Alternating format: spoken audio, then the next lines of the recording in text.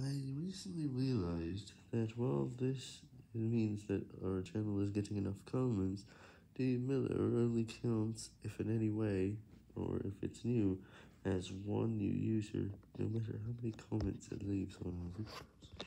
Instead, everything else just gets hard, as because this isn't new anymore after it's added, the next few comments just get hearts.